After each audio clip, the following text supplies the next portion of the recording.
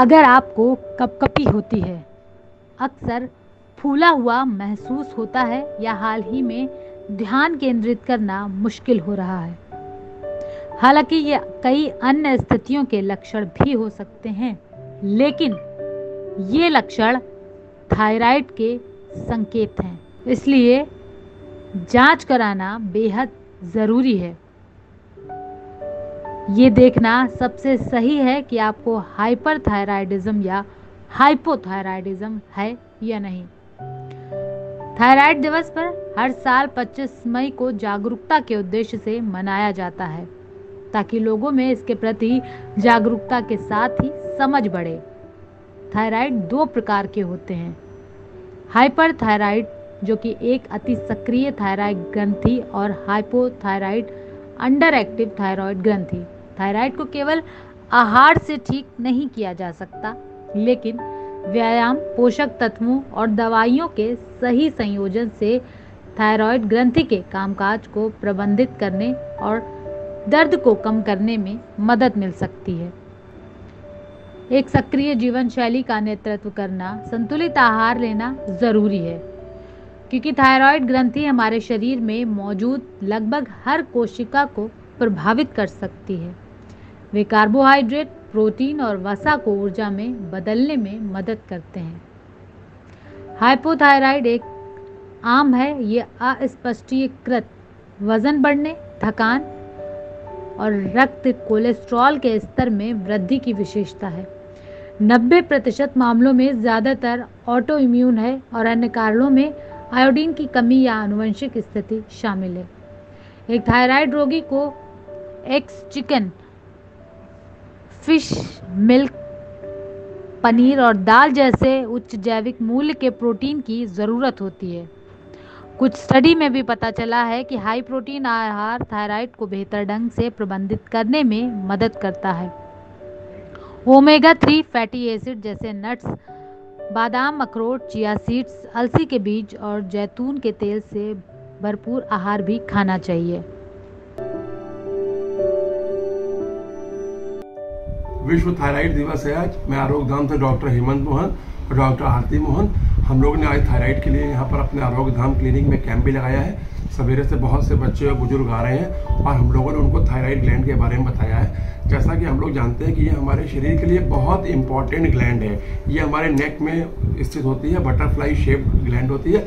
ये हमारे शरीर की बहुत सारी मेटाबॉलिक एक्टिविटीज़ को कंट्रोल करती है। एक थायराइड ग्लैंड से जो हार्मोन सिक्रिएट होता है, उसको थायरॉक्सिन हार्मोन कहते हैं। इसमें तीन प्रकार के हार्मोन होते हैं टी थ्री टी फोर और टी एस एच इस बार का जो थायराइड का जो थीम है, वो है ब्लड प्रेशर नियंत्रित करें और दीर्घ आयु पाएँ।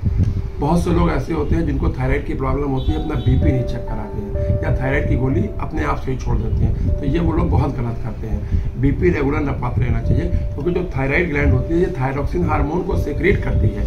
तो ये हार्मोन हमारे शरीर की सारी मेटाबॉलिक एक्टिविटीज़ को रेगुलेट करता है। हमारे शरीर की जितनी भी सेल्स होती हैं, उनको काम करने के लिए एनर्जी चाहिए। जैसे हमारा हार्ट हो, हमारा लंग हो, हमारा लीवर हो, हमारी किडनी हो, सबको काम करने के लिए प्रॉपर सब सेल्स को एनर्जी चाहिए होती है और इसके लिए थायराइड ग्लैंड बहुत इंपॉर्टेंट रोल प्ले करती है।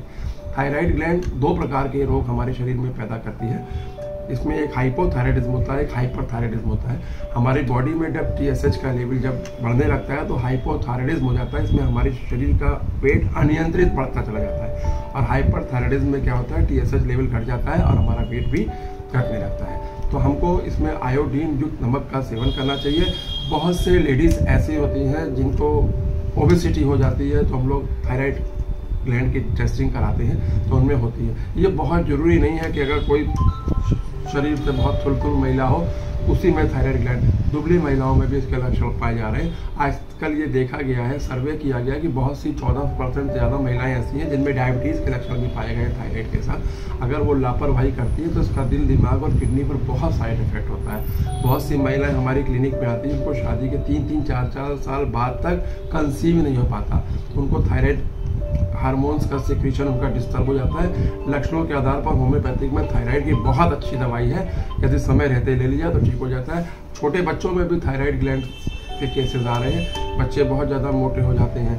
तो हम लोग अपनी होम्योपैथी दवाइयाँ देते हैं। लक्षणों के आधार पर प्रॉपर काउंसलिंग करनी चाहिए। हम समझते हैं कि बहुत अच्छा रेगुलेट हो जाता है। बहुत से केसेस ऐसे हैं। रेडियो बहुत से पेशेंट रेडियो थेरेपी कराते हैं। जैसे किसी को लैरिंग्स में कैंसर हो गया या थायराइड ग्लैंड में कैंसर हो गया या थ्रोट में कैंसर हो गया, उसकी वजह से भी हमारा थायराइड हार्मोन गड़बड़ कर जाता है और टीएसएच लेवल बढ़ जाता है। तो ऐसे में हमारे होम्योपैथिक में रेडियम ब्रोम नाम की दवाइयाँ होती हैं। थायराइडनम होती है, लक्ष्य समय रहते हैं, उनको ले लिया जाए। तो बहुत अच्छा उपचार संभव होता है। थायराइड में जो पेशेंट होता है, उसको अनिद्रा, घबराहट, बेचैनी उसका बेसल मेटाबॉलिक रेट हमारी होम्योपैथी दवाइयों से ठीक रहता है। तो थायराइड की दवाई को कभी भी बंद ना करें। समय समय पर हर चार महीने में अपना T three T four T S H कराते रहें और जो हमारा एंडोक्राइन सिस्टम अगर बॉडी का मज़बूत रहेगा तो हम शारीरिक रूप से स्वस्थ रहेंगे। और थायराइड ग्लैंड की कोई भी बीमारी हो तो उसको हल्के में ना लें और पैनिक ना हो। डट कर मुकाबला करें, घबराए नहीं। आरोग्य धाम से डॉक्टर आरती हूँ जैसा कि आपने सुना डॉक्टर हेमंत से कि थायराइड में क्या क्या बीमारियाँ होती हैं। थायराइड एक जीवन शैली की अनियमितता से होने वाली बीमारी है। ये आनुवंशिक भी होती है। कभी कभी पेरेंटल होती है कि आपके माँ बाप में है तो आपको भी हो गई। लेकिन ऐसा ज़रूरी नहीं कि आपको अगर थायराइड हो गया तो आप उसे ठीक ना कर सकें। अगर अपनी जीवन शैली को रेगुलेट कर लेते हैं तो आप इससे काफ़ी हद तक बच सकते हैं इन दवाइयों से। और आजकल जैसे हर छोटे छोटे बच्चों में भी थायराइड हो रहा है। हर चौथे बच्चे को थायराइड डिटेक्ट हो रहा है। तो ये सब जीवन शैली खान पान देर से सोना, देर से उठना और मोबाइल का अत्यधिक यूज़ इन सब चीज़ों की वजह से भी हो रहा है। गर्भवती महिलाएँ भी जो होती हैं, अगर आपको थायराइड है तो आपको उसको रेगुलेट करना चाहिए, नहीं, आगे आपको काफ़ी इसके साइड इफ़ेक्ट झेलने पड़ सकते हैं। और जो भी लड़कियाँ हैं, उनमें भी आजकल थायराइड के बहुत लक्षण मिल रहे हैं, जिससे उनके पीरियड्स रेगुलर हो जाते हैं। थायराइड की वजह से ओवेरियन हार्मोन जो है, वो अनबैलेंस नहीं रहते हैं। तो हमें थायराइड के साथ अगर आपको बीमारी कोई प्रॉब्लम है तो आप अपने निकटतम चिकित्सक से मिलें और अपनी जीवन शैली को बिल्कुल नियंत्रित कर लें। आप अपना वज़न ना बढ़ने दें। ऐसी चीज़ों का सेवन करें जिससे आपका मन मस्तिष्क और शरीर जो है वो स्वस्थ